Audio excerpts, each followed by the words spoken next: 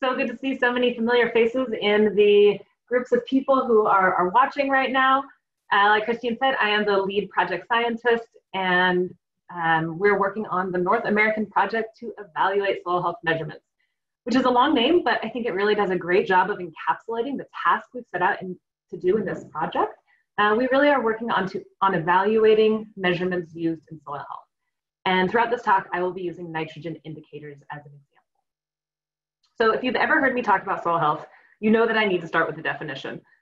Soil health is the continued capacity of the soil to function as a vital living ecosystem that sustains plants, animals, and humans.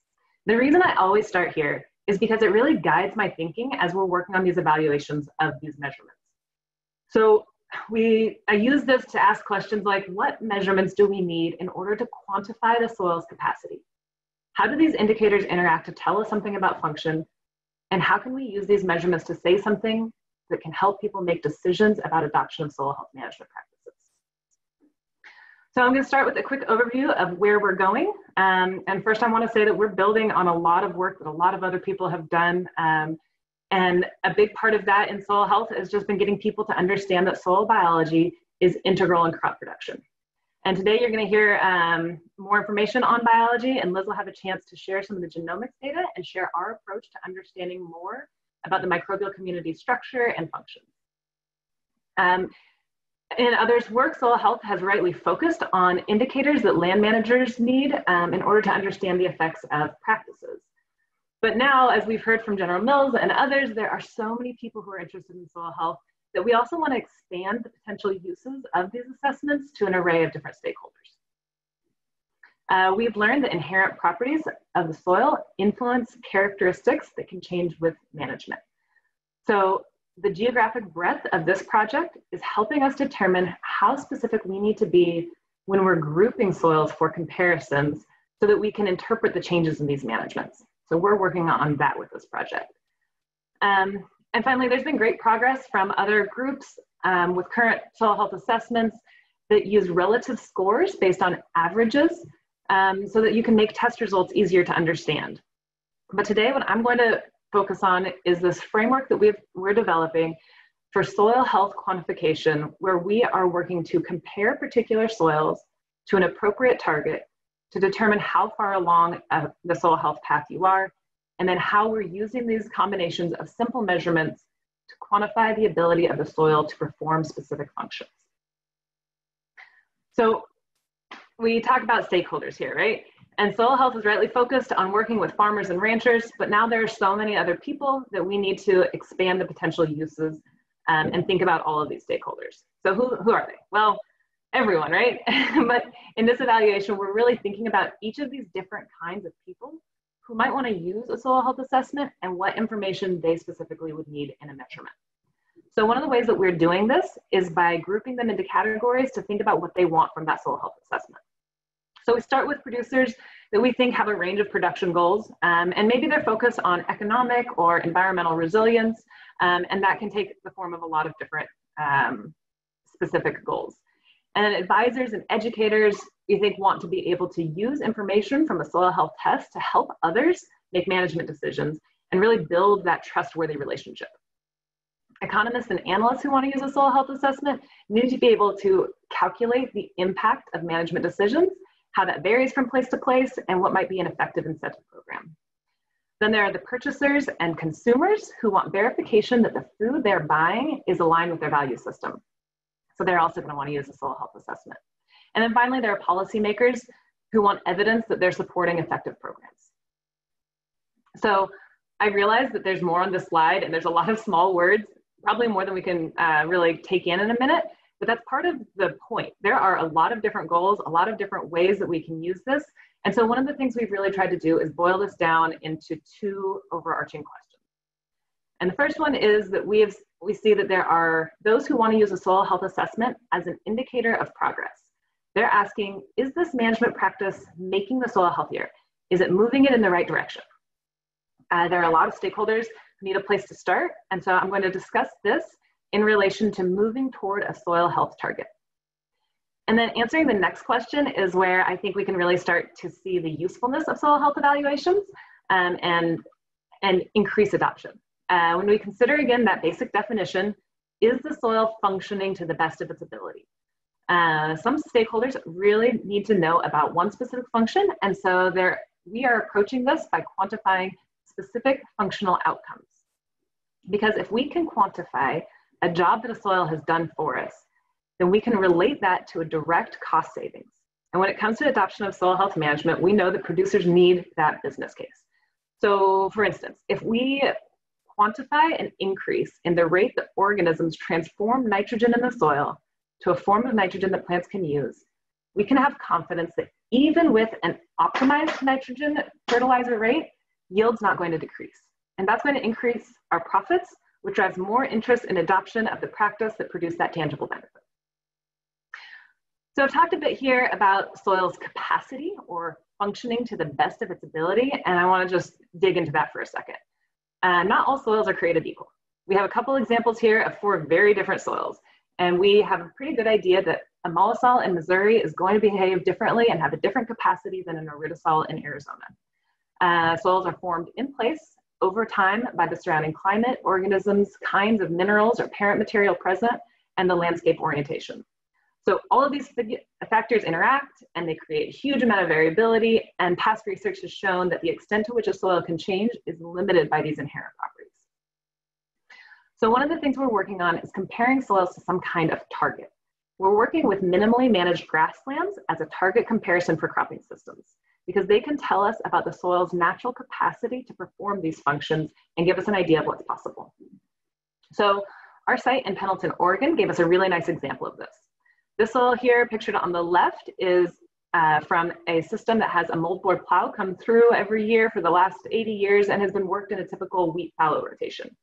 At the same experiment station, there's also this uh, baseline grassland that gets mowed once or twice a year, and that's all. Um, and these two pictures were taken on the same day after a hard rain. And you might be able to assume this from the picture, but our lab and field measurements of this grassland showed that um, these beautiful aggregates and root structure.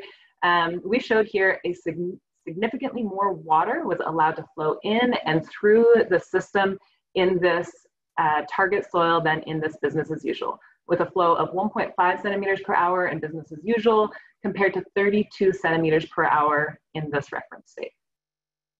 So taking these two bookends as a kind of measuring stick, we can look at another treatment at the same site where they've adopted two soil health management practices. They've integrated peas into the wheat fallow system and they do not till the soil.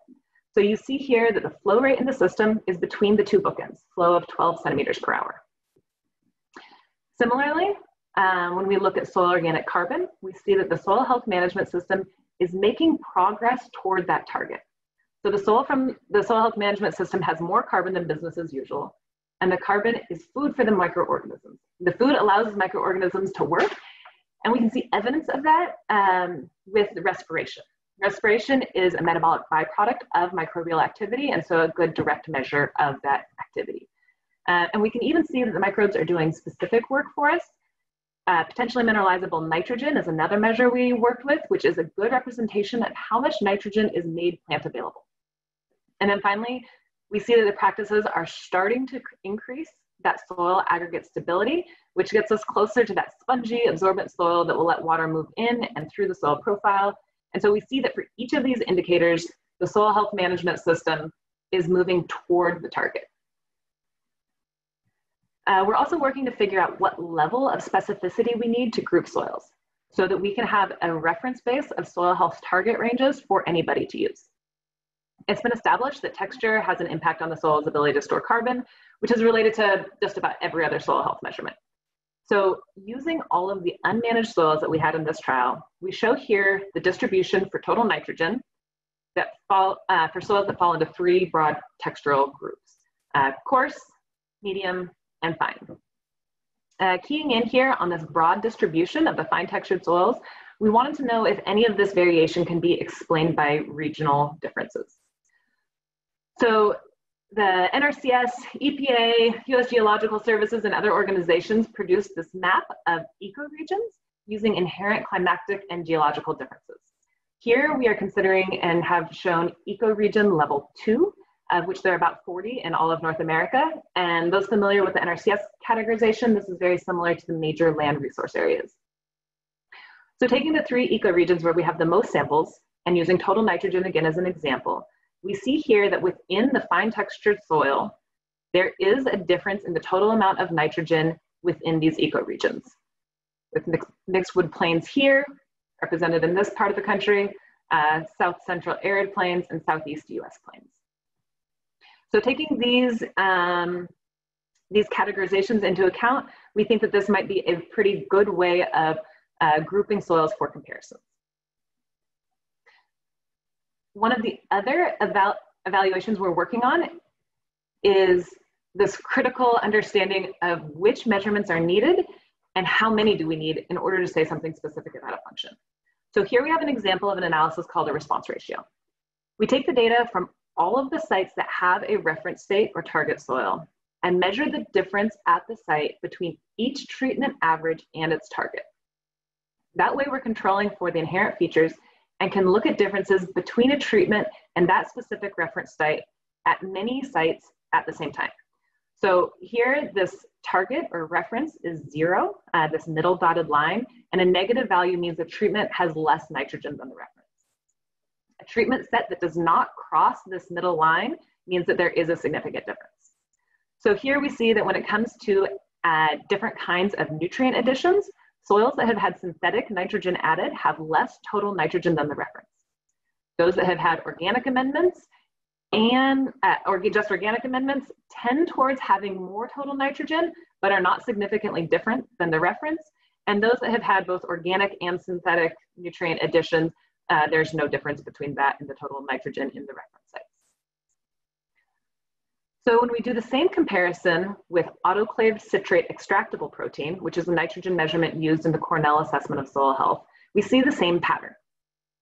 Again, when we look at the N-acetyl beta-glucosaminidase, which is a nitrogen cycling enzyme that is recommended by the NRCS in their technical report, again, we see the same pattern.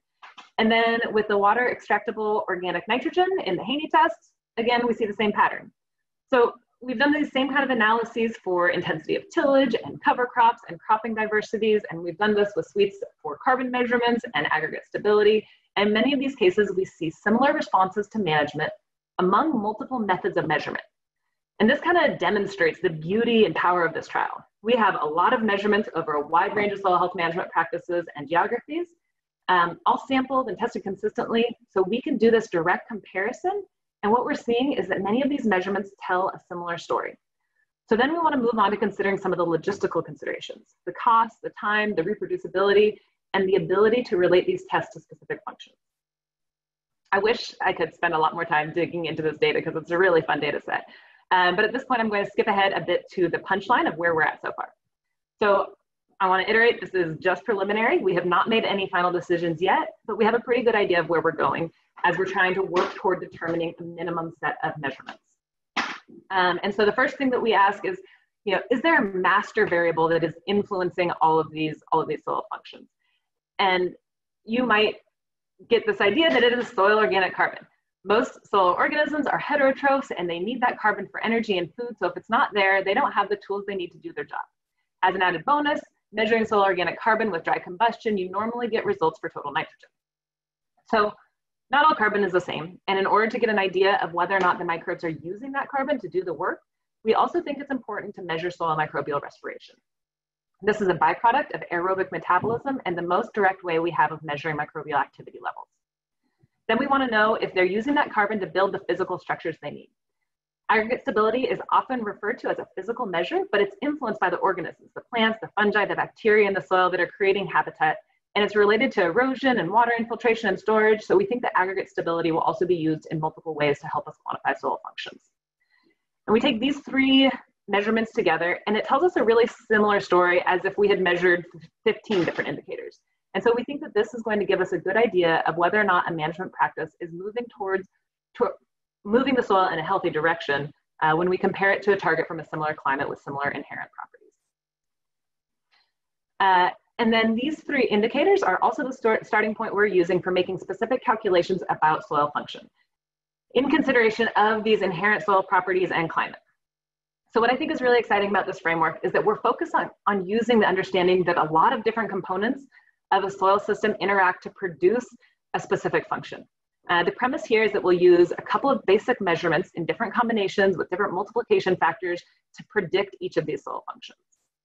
Now, since I'm focused on the nitrogen indicators, I'm gonna talk about nitrogen cycling, uh, which is an active process carried out by microorganisms where they take that nitrogen bound up in the soil and turn it into forms that the plant roots can use. And I've used what's called forward selection regression models to test just about every measurement we made to see what increases the ability to protect, predict potentially mineralizable nitrogen um, as the nitrogen cycling outcome.